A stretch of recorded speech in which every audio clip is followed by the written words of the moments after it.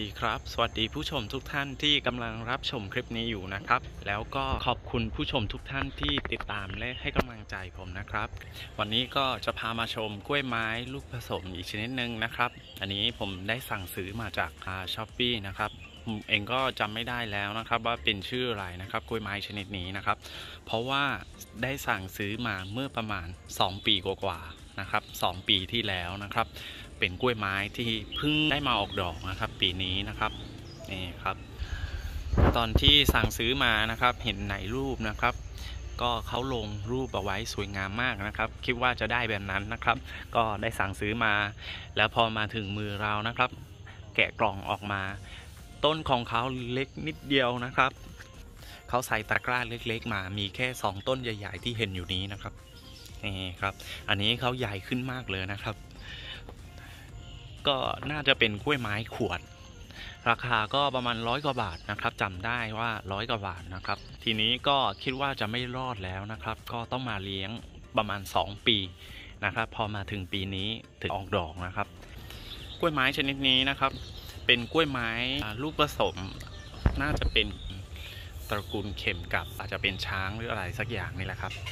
นี่ครับเป็นกล้วยไม้ที่แปลกๆดีนะครับ ตอนซื้อมานะครับ ตอนแรกคิดว่านะครับ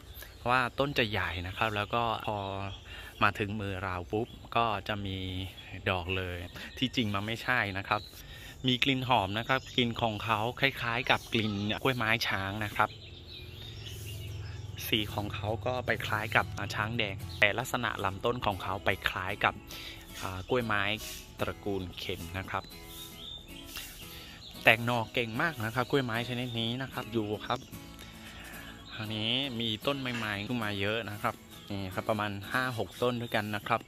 น่าจะเป็นกล้วยไม้ระบบรากอากาศนะครับ ตั้งแต่ผมซื้อมาในกระถางเขาก็ไม่ได้ใส่อะไรเลยนะครับ ไม่มีกำมะพร้าวไม่มีอะไรนะครับรากของเขาก็ให้ระยะลงมา เหมือนกับกล้วยไม้สกุลช้างนะครับ เป็นกล้วยไม้ที่ช่อดอกไม่ใหญ่มากนะครับนี่ประมาณประมาณนี้นะครับ ออกดอกมา 2 ช่อด้วยกันนะครับ แต่ช่อที่อยู่ด้านบนนี้นะครับ ก็ยังไม่ยังไม่บานนะครับ น่าจะเป็นกล้วยไม้ที่ออกดอกเพียงปีละครั้งนะครับ กล้วยไม้ชนิดนี้นะ เพราะว่าออกดอกช้ามากนะครับนี่ก็สวยงามอีกชนิดหนึ่งนะครับ กล้วยไม้ ผ่านผสมรากของเขาก็เหมือนกับกล้วยไม้ขิมแดงที่ผมได้ปลูกเอาไว้นะครับนี่ครับ ส่วนปลายตรงนี้นะครับก็จะเป็นสีม่วงจะเป็นสีแดงๆนะครับ รากของเขานะครับ อันนี้ผมก็ได้ฉีดปุ๋ยบ้าง ไม่ได้ฉีดปุ๋ยบ้างนะครับ แต่ก่อนนี้อาทิตย์ละครั้งนะครับ แต่ละลางนี้งานเยอะนะครับ ก็เลยไม่ค่อยได้ฉีดปุ๋ยนะครับพอไม่ฉีดปุ๋ยปุ๊บมันก็ออกดอกนะครับ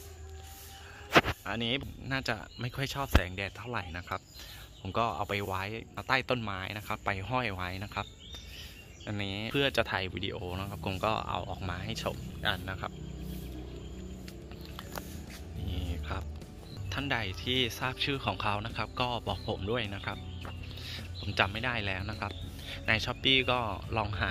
ดูแล้วนะครับ แต่ไม่มีข้อมูลที่เราสั่งซื้อ ไปแล้วนะครับ เพราะว่ามันนานมากนะครับ 2 ปีกว่าแล้วนะครับนี่ครับ ก็สวยงามอยู่นะครับกล้วยไม้ชนิดนี้ ดอกของเขาก็แปลกดีนะครับ นี่ครับครับสำหรับคลิปนี้ก็ผมขอจบเพียงเท่านี้นะครับ ขอบคุณทุกท่านที่เข้ามารับชมนะครับ แล้วก็ขอบคุณทุกท่านที่ติดตามและให้กำลังใจผมนะครับ